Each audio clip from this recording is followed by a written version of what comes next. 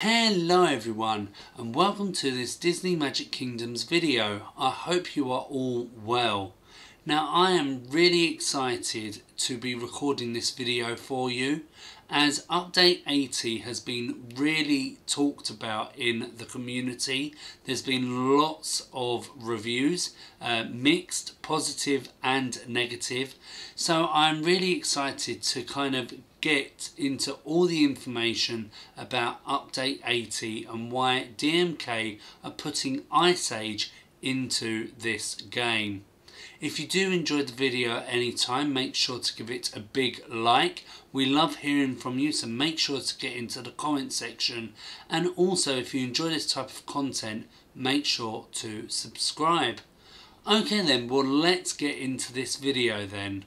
Okay, so before we start the video, we need to go back right to the start and if anyone does not know, um, we need to find out what Ice Age is. So Ice Age is a film franchise that was started in 2002. It was produced by Blue Sky Studios and distributed by 20th Century Fox. But that's not Disney. This is a Disney game. Disney Magic Kingdoms? Well, yes and no, but we will get into that later. As I was saying, the franchise follows the story of a group of prehistoric mammals surviving the Ice Age. The franchise has made over 3 billion US dollars in box office revenue. So, shall we find out why Disney Magic Kingdoms are putting Ice Age into the game? So to do that we need to look at the pros and we also need to look at the cons. And the first pro that I have is that Ice Age is a popular media franchise. There has been six movies and I believe there is going to be another one at some point. Seven short films, one animated series and two television specials as well as loads more that we'll be looking into a little bit. Not only is it a popular media franchise, the characters are well known and the five characters that I'm showing you in this video are actually the five characters that we're going to be getting in the game.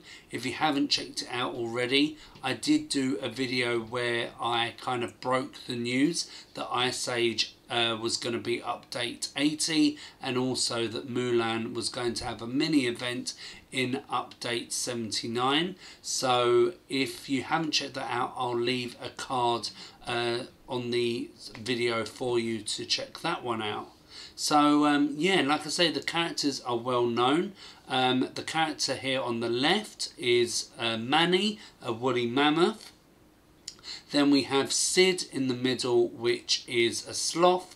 And then we have on the right here, Diego, who is a kind of like saber-toothed tiger. And then the last two um, on the left here we have Scrat, uh, I believe. Um, and then on the right, I would say this is not as well known as the other four. Um, and this is Baby Scrat, uh, which is supposedly the son of Scrat. Um, if, like I say at the beginning of the video, if you don't know what Ice Age is, you're probably going to know who Scrat is.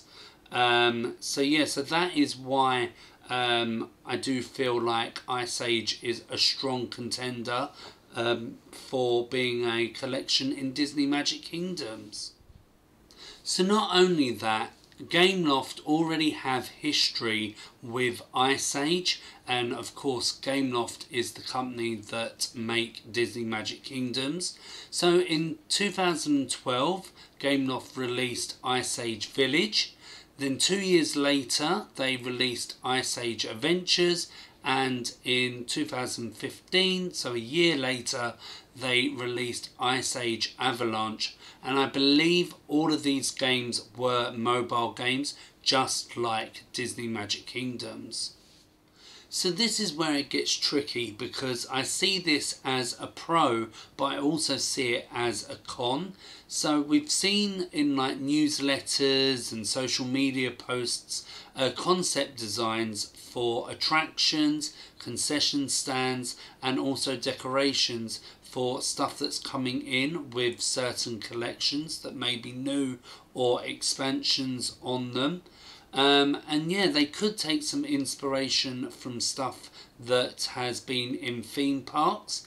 So we'll start off with the first attraction uh, to ever appear, and that was at Movie Park Germany between 2004 and 2016. There was an Ice Age dark ride, which has now been turned into a roller coaster, which has been totally rethemed away from Ice Age. Then in 2012, here in the UK at Alton Towers Resort, there was a 4D experience, which was kind of like a show, but unfortunately it's not there anymore. Then from 2014 to present day actually uh, Dufan Ancol it's a theme park out in Indonesia and they also have a kind of like dark ride um, to do with Ice Age and then Genting Sky Worlds, uh, I believe I've said that correctly, a theme park in Malaysia, which is actually the first 20th century uh, Fox focused kind of like themed theme park. Um, and that opened in 2021 that ice age themed area and there's a couple of attractions i believe and of course it's still open. So, like I say, they could take some inspiration um, to the stuff that's going to be coming into the collection. And like I say, I see this as a pro, but I also see this as a con because we don't see Ice Age in the Disney parks. And I think we're going to find out a little bit more about that in the next bit of the video when we go into the cons of Ice Age coming into Disney Magic Kingdoms. So I've already kind of started on the cons, like I said, with the theme park uh, situation, but Ice Age is not Disney. So let's go back to the start of the video and recap on what I said there. So, Ice Age is a film franchise that was started in 2002. It was produced by Blue Sky Studios and distributed by 20th Century Fox. So like I said, Ice Age is basically 20th Century Fox content, but in 2019 the Walt Disney Company brought 20th Century Fox and that kind of basically means that even though Ice Age wasn't Disney when it was released, it is actually now Disney content, just like we've seen other franchises um, from different companies uh, now become Disney content. And unfortunately, the Blue Sky Studios was shut down in April 2021. Um, and then Ice Age was included on the Walt Disney Company's streaming service Disney Plus in March 2020. So, um, so even though it doesn't feel like Disney, it is actually Disney content. Um, so that's a kind of con for me, is that it doesn't feel like Disney. Um, but yeah, I would love to hear what you guys um, feel. Like I say, I know there's been lots of mixed reviews. There's been lots of positive. There's been lots of negative. So um, looking forward to seeing the comment section. So now that we know Update 80 is going to be Ice Age, what other franchises could come into the game that weren't Disney when they were first released? So I've got a few here. Um, the Simpsons, another really well-known franchise. I don't know if it's that popular as it was in its heyday. Um, but yeah, that could definitely be one to come in. Robots. One that's been really suggested is Rio. um, Anastasia, and then of course Marvel. I know that's another one that loads of people have been waiting to see in Disney Magic Kingdoms.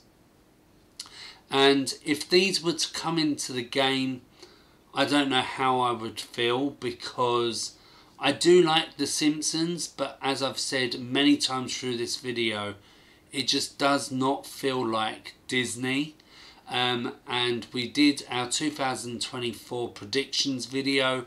Um, I'll put a card up on the video for you.